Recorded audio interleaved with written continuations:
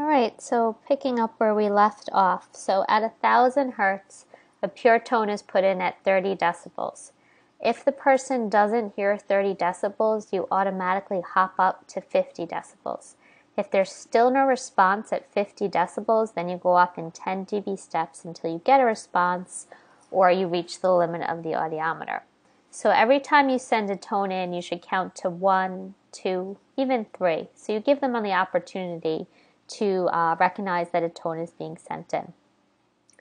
As soon as you get a response, so let's say you do get a response at 30 decibels at 1000 hertz, then you go down in 10 dB steps until you don't get a response again, until the responses stop. So you would go from 30 decibels to 20 decibels to 10 decibels to 0 decibels. Then let's say you don't get a response at 0 decibels, you go up to 5 decibels or up to 10 decibels. You go up in 5 dB steps until you get a response.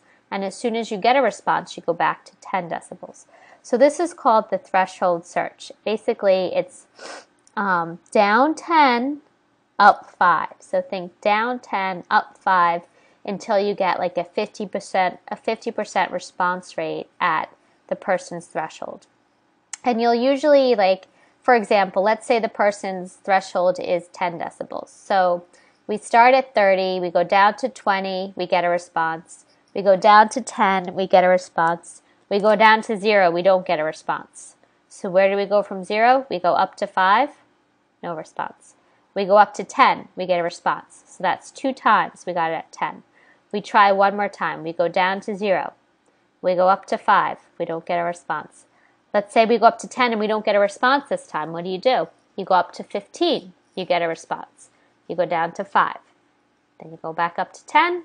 You're just going to like bounce around the person's threshold till about 50% of the time you get it correct. I mean, you get like a, a positive response. So, person's threshold doesn't change from like, it stays pretty consistent. Over the years, it'll change, it'll get worse, but in general, it stays like pretty consistent. So, you're kind of going to like dance around a person's hearing threshold um, at each frequency. And remember, the threshold is the lowest level that someone can hear a sound, and that's what we're searching for. So you obtain the threshold at 1000 hertz, you go up to 2000 hertz, you start where you left off, you do the same thing, down 10, up 5, and you dance around a person's threshold. And you do it at 2000 hertz, at 4, at 8000 hertz. Okay? So down 10, up 5 until you get about a 50% response rate. And then you're going to mark the, um, the recording on the audiogram. So you're going to use a circle for the right ear and an X for the left ear. And I'm going to, you know, listen to the PowerPoint about understanding the audiogram.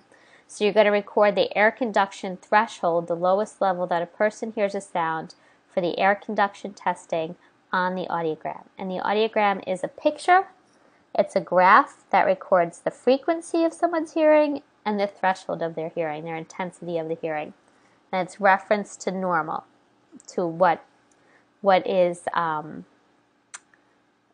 the so back in like World War II, they took like thousands of healthy young men and they measured their hearing and they determined that zero was like the threshold of all these healthy young men.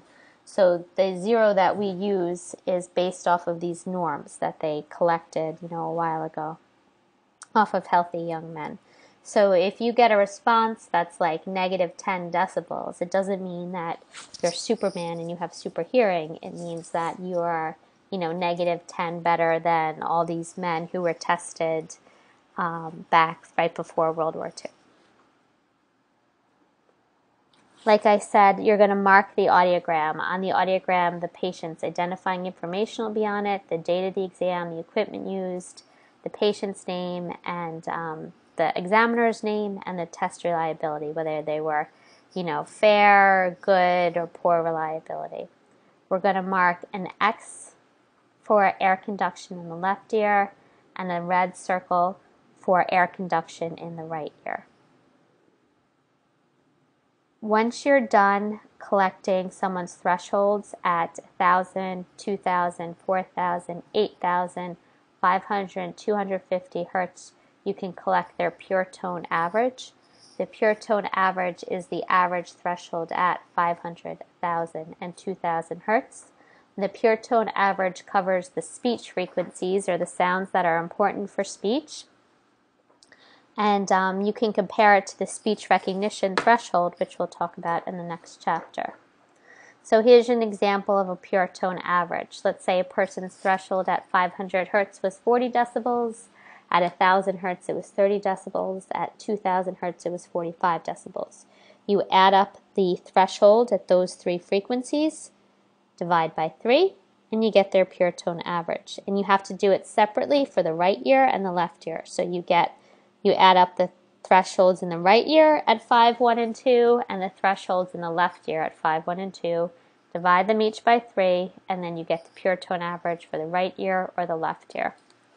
Um, I think I forgot to mention that when we're testing someone's hearing with air conduction, you can't find the slide right now. When you're testing air conduction, you test these frequencies, okay?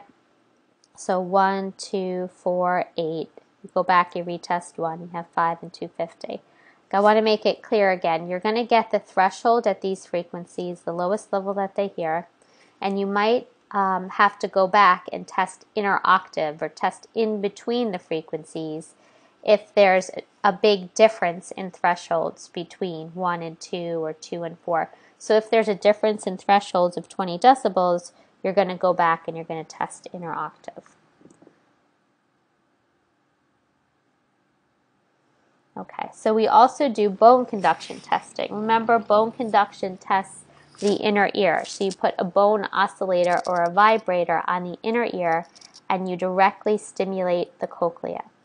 By testing bone conduction, we can help separate out where the problem is. So air conduction gives us the severity of the hearing loss. Bone conduction helps us, along with the air scores, figure out if the problem is conductive, occurring in the outer ear or the middle ear, sensory neural occurring in the inner ear, or mixed in both. So distortion, bone conduction works three ways. There's distortion, inertia, and osteotympanic bone conduction. So with bone conduction, your skull, you're going to put a vibrator on the skull and all the bones in the skull are going to shake and move. And when those bones move, they give rise to an electrochemical activity that is identical to that created by the air conduction signal. Basically, the movement of the skull moves the fluid of the inner ear, and that tells the hair cells to fire and the auditory nerve to send the message up to the brain. So, as the skull's moving, you also make the bones of the middle ear move. And when the bones of the middle ear are moving, they're going to start pushing on the cochlea and that fluid in the cochlea will again begin moving and the message will get sent to the brain that there's a sound. Also, you're going to have the movement in the ear canal pushing on the middle ear. So the air in the ear canal is going to start moving and then that's going to push on the tympanic membrane, which will send the message through the middle ear up to the cochlea that there's sound. Okay, so bone conduction happens three ways. I can put a vibrator on any portion of your skull and I can vibrate the bones of the skull, the bones of the middle ear, and the air in your ear canal, and I can stimulate the cochlea to tell those hair cells to fire to send the message to the brain. Now, with bone conduction, we put the vibrator on the mastoid bone, that's the bone right behind your pinna, and it stimulates both ears at the same time. So you don't test the right ear or the left ear, they both get tested at the same time because the skull is connected. So basically, any if I were to put a vibrator in any portion of your skull, I could stimulate hearing in both ears. But we usually place it on the mastoid bone. You have to be careful of the occlusion effect when you're testing bone conduction. So when you're testing bone conduction, you have to make sure the person isn't wearing a headset, earphones, because that will make the sounds sound louder than they are. Basically, the vibrator vibrating the skull, and then you've got that osteotympanic bone conduction where the air in the ear canal starts moving. And if the ear canal is open, the air in the not open, the air in the ear canal is going to bounce off the headset and head back into the middle ear, and it's going to make the sound sound louder. So the occlusion effect is when you have your ears occluded or covered, It increases the intensity of the sound delivered by the bone conduction vibrator, and sounds seem louder than they actually are. So you have to keep your ears uncovered if you're testing bone conduction, or you can use insert earphones, or you can use a correction factor. But in general, you know, if you use insert earphones, like I said, are best, you avoid problems like this. Okay, so bone conduction, um, the placement of the vibrator doesn't make any difference because you're going to get a response on either side. Again, it, it doesn't make any difference, but there's a way where we can mask one ear and we can separate out the ears so that we can get ear specific information, and that's called masking. So we can, even though when I put the bone oscillator on, I measure both cochleas at the same time, I can distract one ear and separate out and get a, a, a bone conduction score for the right ear and a bone conduction score for the left ear. So your bone conduction scores are these carets. When we separate out the ears to get an accurate response, we use brackets. And we separate out the ears using masking. So looking at your audiogram, you're going to look at each frequency and you're going to look at the amount of hearing loss by air conduction, the amount of hearing loss by bone conduction, and the difference between the air conduction scores and the bone conduction scores and that's called the air bone gap. So the difference between the air conduction scores and the bone conduction scores are going to give you the air bone gap, and that's going to determine what type of hearing loss you have. So remember, air conduction tests demonstrate the loss in sensitivity of the entire system.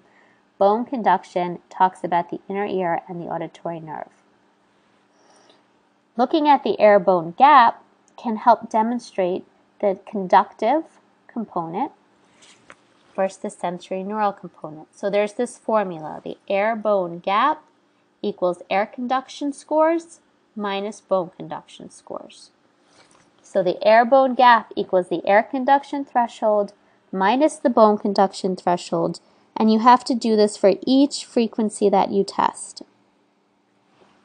There may or may not be a bone a gap present.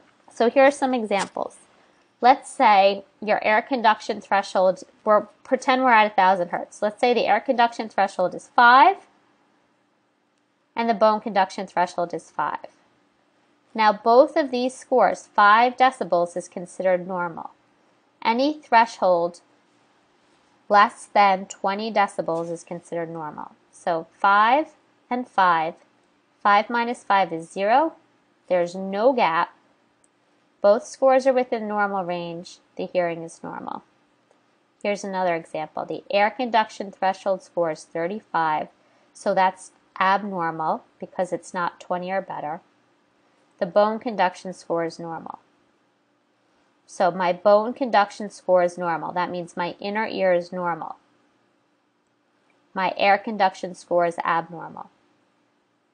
I have a gap between my air conduction score and my bone conduction score. I have a conductive hearing loss. I have a problem in the outer ear or the middle ear. Because my bone conduction score came back normal, that means that the inner ear is okay. But my air conduction score came back abnormal. That means that there was a problem in either the outer ear or the middle ear. And that is a conductive hearing loss. Now over in example 3, we have air conduction at 35, which is abnormal, and bone conduction at 35, which is also abnormal. Both scores are abnormal, but there's no gap, there's no difference between the scores. It's a sensory neural hearing loss. There was one problem, and they both got tripped up at the same problem in the cochlea. Okay? Because bone, which tests the inner ear, was abnormal, and air, which tests the whole system, was the same degree of abnormal. Now, the last example, we have an air conduction threshold at 60, which is abnormal, and a bone conduction threshold at 35, which is also abnormal because it's worse than 20. So bone is coming across a problem, and air is coming across two problems. The air bone gap is 25, the air bone gap is greater than 10. and you have a mixed hearing loss.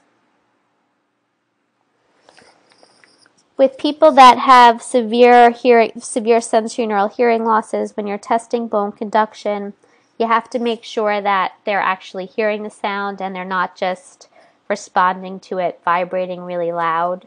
So if someone comes out with like a severe mixed hearing loss, um, the chances are that you have the bone conduction oscillator so loud that it's vibrating and the person is feeling the response. Okay, so cross hearing is um, something that you have to be careful about with certain degrees of hearing loss. So if you remember when you go to the eye doctor, you will cover one eye. Um, you know, you'll have to cover your left eye to test your right eye and whatnot. So sometimes with hearing, we do the same thing. Well, we'll knock out the left ear or we'll knock out the right ear to um, get a more accurate test. And we mask that ear. We knock it out by masking it. Masking means we put in like a noise to distract the ear. So we do that when there's a big difference between the right ear and the left ear scores. We'll put noise in the better ear to distract it so that it can't help the weaker ear. Okay, so we do that um, masking. We'll do it for air conduction or for bone conduction. I'm not going to ask you any sort of formulas for it. I just want you to know when um, scores are very different between ears, we mask for air conduction. And when the scores are greater, when there's an air bone gap greater than 10 between bone conduction scores and air conduction scores, we also mask. And masking is blocking one ear by putting noise in from helping the other ear. All right, so that's masking when we kind of knock out one ear to get a more accurate measure on the other ear.